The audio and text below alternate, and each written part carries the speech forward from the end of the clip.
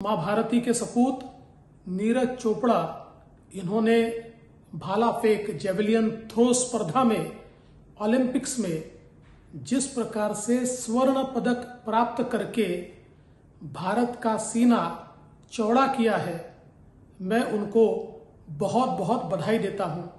समूचा भारत अपने आप को गौरवान्वित महसूस करता है, और वो क्षण जिस समय भारत का राष्ट्रगीत सुनाई दे रहा था और भारत का तिरंगा झंडा ऊँचा ऊँचा लहरा रहा था। वो क्षण हम सभी को रोमांचित कर रहा था और उसका श्रेय अगर किसी को जाता है तो वो केवल नीरज चोपड़ा इन्हें जाता है। मैं नीरज जी के साथ साथ समूचे भारतीय ओलंपिक कंटिंजेंट को भी बधाई देना चाहता हूँ। जिन्होंने सात मेडल प्राप्त किए और हमारे जिन खिलाड़ियों को मेडल प्राप्त भी नहीं हुए, उन्होंने अपने खेल का ऐसा कौशल दुनिया को दिखाया कि भारत के खिलाड़ियों की ताकत फिर एक बार दुनिया तक पहुँची है। इसलिए इस समूचे ओलंपिक कंटिंजेंट को बहुत बहुत बधाई।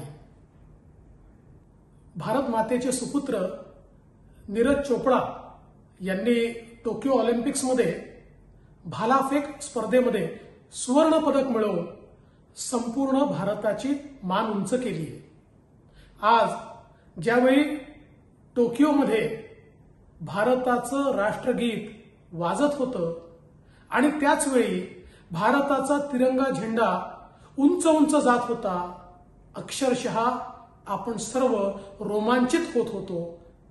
आणि याचं श्रेय जर कोणाला जात असेल तर ते केवळ आणि केवळ नीरज चोपडा यांना जात आहे मी त्यांचं मनापासून अभिनंदन करतो आणि त्याचसोबत अभिनंदन करतो भारतीय ऑलिम्पिक कंटिंजंटचं.